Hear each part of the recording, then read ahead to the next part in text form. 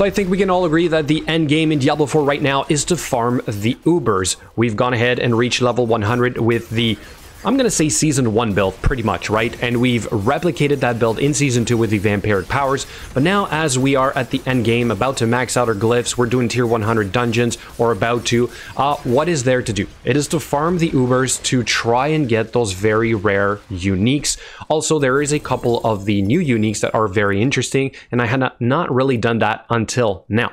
So I now have about 30 or so Duriel runs, and I was fortunate enough to get some of the uh, new uniques, obviously, which are fairly easy, but also one of the very rare ones. So I thought it was going to be a lot harder to do that. Uh, we're barely two weeks into the season, and I have one of the two that I was really hoping to get, and I need just one more.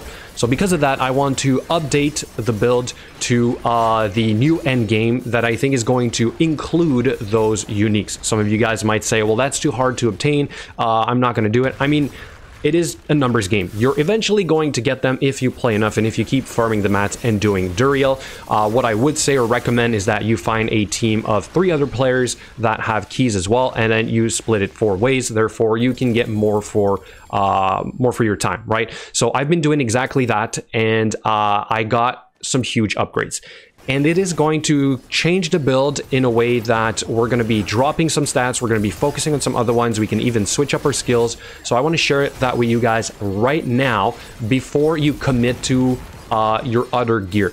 Now, you might say that you're never going to reach that point, so you want to focus on the other build, which is fine.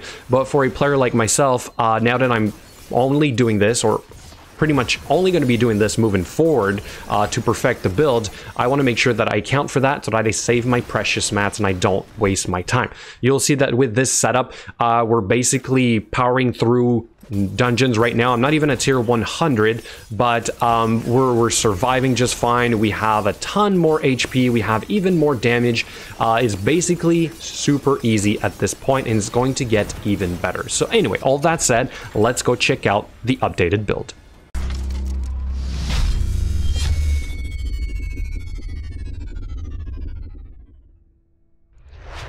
All right, so let's go over the stats and the gear for this modified version or the Uber version of the Poison Blades in Season 2 with the changes that I would like to do, but the ones that I currently have or that I'm currently testing, right? So our helm would eventually become the Shako, um, for obvious reasons, right? A lot of great stats on it.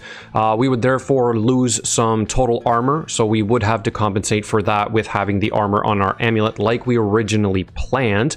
And then as we get better pieces here uh, for extra armor on our, let's say, their chest piece, the pants, and the gloves, we should be pretty close to our cap. We're also going to get plus four to all skills, which is kind of crazy, uh, along with all stats and all the other good things. We're going to get damage reduction, but we're not going to um, drop might we're just going to move might to our chess piece. I think that might will be a little bit better than the cheats.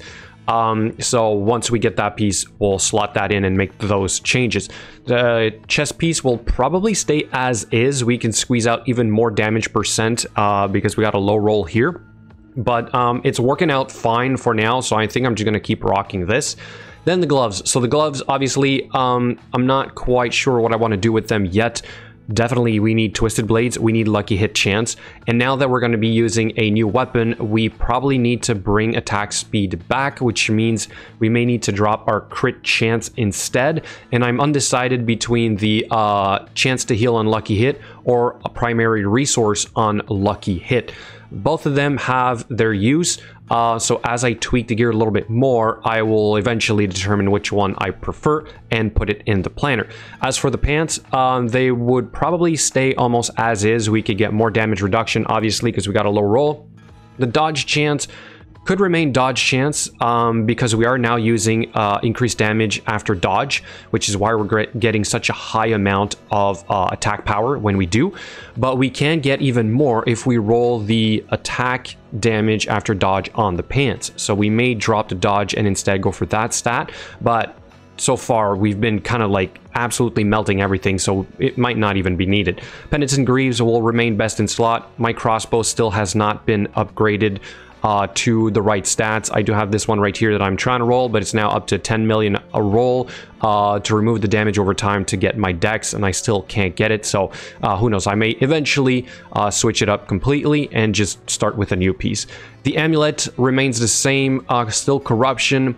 Then the damage reduction here or the damage percent will have to be dropped for the armor percent roll. So um, also not sure what I'm going to do if I'm going to keep the damage reduction or the damage. Both of them have a use, obviously, but um, I'm trying to be as strong as possible so I may try it without the damage reduction for a while. Then we have uh, this ring which has not changed since the last build. Lucky hit crit chance and damage to close and maximum life. Although maximum life at this point is starting to not be as important on a ring if we're going to keep using the weapon uh, that we're going to cover in a second. Then we got this ring. So this is one of the new pieces. Uh, seems good on paper uh, lucky hit is great, damage over time, fine, cooldown reduction, always good. And then we have your damage over time effects have a 50% chance to erupt, dealing uh, 36,000 damage or so. I can't really notice it that much, especially that I'm still running Shadow Imbuement. So uh, test would be to probably drop Shadow Imbuement and instead run just this ring uh, and the Doombringer. So that is one of the Uber uniques that is completely changing up the build uh, for obvious reasons. We're getting a massive amount of increased damage uh, with the damage percent. Core skill is not that useful or doesn't really do anything for the poison imbuement, but will, for example, still impact the shadow imbuement, if I understand correctly. And then we're getting a massive amount of extra life, which is huge. So we're now sitting at 20k life. Like this is almost too much. So I'm thinking we're going to drop the rubies on the gear and go for the topaz, which will give us damage reduction when we're crowd control, which is usually what kills you anyway. So um, it would make sense to, to do that switch. So I'll put that in the planner for you guys. And then we have the chance to heal on lucky hit. So between this, the gloves, and one of our skills, we have so much heal on hit that we're basically always full health, which is which is great. Uh, but the question is, can we start dropping, for example, the skill points in our skills or drop the chance to heal on our gloves and instead only rely on this? Not sure yet. I'm to say it's probably not enough by itself, even with a large health pool. Uh, then we have the Lucky Hit, a chance to deal shadow damage to surrounding enemies and reduce their damage by 20%. This is huge.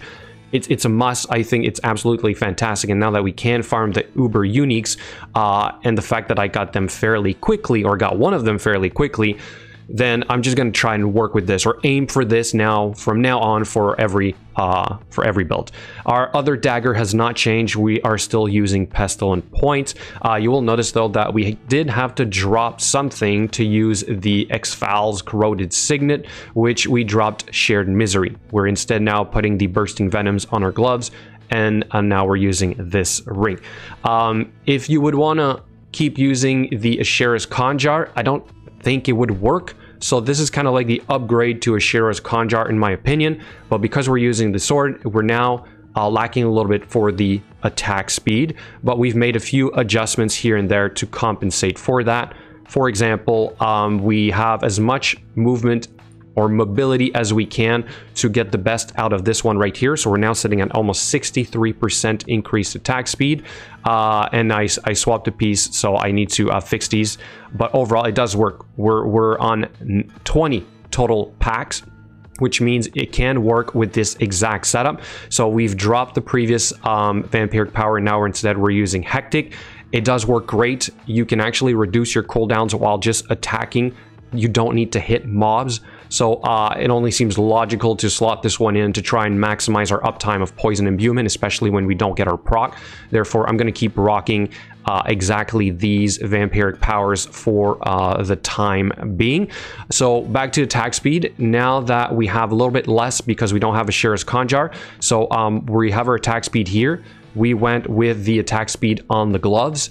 We have some attack speed in this part as well on the Leyrana's board. So we're getting another 7.5%. And I went back to putting a couple of points into haste to uh, hit what I think is still the maximum, which is 100%, right? So we can still hit our cap of attack speed without using a potion. And uh, the way we're doing this is by trying to get even more movement speed. So right now we are getting a little bit of extra movement speed when it triggers on our chest piece with the uh, cheats. So we may eventually not have this, but you can still hit the cap without this piece. All right, now let's quickly go over the skills and the changes that I've done so far, or that that I'm trying. So I'm, I'm not um, entirely sure this will be the the final version of the skill, so keep checking the planner for the updates. So you'll notice that I dropped three points into Siphoning Strikes because we're now using Doombringer and we have the heal in our gloves that we're currently testing. We'll see if that's enough. Now, if we drop this, what's interesting is that, um, you know, crit rate becomes less and less important because obviously we're not critting with our poison imbuements. Uh, we're kind of like using it for the heals here. So dropping crit rate entirely is kind of huge for our build. It's, it frees up a lot of slots that we could do other things with. Uh, this here has not really changed. Uh, we are still using Dark Shroud, but instead now that I'm, I'm not using this, I moved a point in, uh, into Subverting Dark Shroud for increased movement speed to again give us more um, attack speed in the end because of the vampiric power, right? So uh, we're, we're hitting the cap easily with this setup. Then we have the same concept here, nothing has changed. Uh, we're still using Poison Imbuement with uh, the blended Poison Imbuement. Although now that we're dropping crit rate, uh, same thing applies here. We may not need the blended Poison Imbuement anymore, and instead we may uh, just work with the mixed Poison Imbuement since we have a chance to deal double the amount, so it is a little bit more damage, but it's on a lucky hit. But because we're stacking so much lucky hit, uh, it feels like, you know, it's going to happen quite often. We've removed the points into precision imbuement for the time being, again, because we're, we're slowly kind of trying to drop our crit rate. Uh, and then we put three points into Alchemist's Fortune instead, and uh, the extra points that I mentioned before into Haste, and we're still using our close quarters combat. All right, for the Paragon points, nothing has changed since the last one, but I'll still quickly go over some of the important points here and kind of talk about how I usually build it from the ground up because I've had that question a couple of times. Just kind of go for the main rare nodes first and then it really just depends on your stats. I think that's kind of the, the thing that I check is to see if my stats, I have enough of them to hit the extra bonus of the next board. If I don't, then maybe I spend a little bit more points getting some of the extra rare nodes in that one. Um, so it really just depends on the gear and your drops, basically. So as you are progressing in here, uh, obviously go for the glyphs as quickly as possible or the legendary nodes, right? And uh, if you see that you're not ready for the next board, then just keep going for the other rare nodes and put a little extra points to, let's say, cap one of the glyphs if you can, especially if you pulled the right glyph early on and you started leveling it. As for the order of the boards, starter board, then we go into cheap shot, I go into Leyrana's Instinct, then we go up into the Tricks of the Trade. The following one is No Witnesses, and then uh, we go down into Eldritch Bounty. So that's the first six, and then the seventh, uh, we finish with Bane up here on the right hand side. I'm still not finished leveling all the glyphs. I'm getting pretty close. I think I have two more to max out. Uh, but otherwise, this is the exact setup, and I'm going to keep rocking this for the time being. All right, back to the vampiric powers real quick. Uh, like I said, I'm, I'm not optimized right now, so I need to shuffle points around, but I didn't want to spend too much time doing that because these gloves are not permanent, uh, and that's a reason why it's currently not working. So I am missing a huge amount of damage from increased damage over time, uh, which I didn't have at the time of, of showing the Uber runs, right? So I just did this swap and tried a couple Nightmare Dungeons to see how well it would go. But once everything is kind of uh, in place, I think we're going to be using exactly this. So Hectic for the reduce of the cooldown. That's huge on basic attacks. We have a lot of attack speed, which means it triggers all the time. And when you, you're doing the Uber runs, like I explained in the beginning, uh, between those waves, you can just reset your cooldowns, which is fantastic, right? Uh, then we have the Prey on the Weak, Ravenous, Accursed Touch, and Flowing Veins, which will get the benefit eventually. Um, one more thing I'll say before I let you guys go is back to the skills. Obviously, now that we have more AoE from our items, um, we may be able to drop Shadow Imbuement entirely, which frees up an entire slot on our skills. So um, I'm not sure which one I, I want to go with for the time being. I do like Shadow Imbuement. We've been using it since the beginning. We do get extra damage uh, to to targets when they're shadow imbued for by 12%, which is kind of huge, and it's for 8 seconds. And now that we can reduce our cooldowns, you can basically always have this up. So if you're farming or, or doing Nightmare Dungeons, whatever, AoE is always better. But when you're going to be doing bosses, for example, Uber Lilith, sure, you know, Poison Trap might be better in that case. It might work better with the new uh, item X'Fal's, the ring, but it might not be needed as you know you're, you're never kind of standing in place but um, maybe what we could do instead for uber lilith is let's say drop the one of our mobility skills and go for uh, poison poison trap right? And go for either this one for the extra damage or that one to reset the cooldown of our poison imbuement to hopefully have, you know, even more uptime or to guarantee our runs when we're doing Uber Lilith. Another option would be to run Smoke Grenade because we do get a nice plus 25% increased damage when we um, when we use it or for the mobs that are dazed.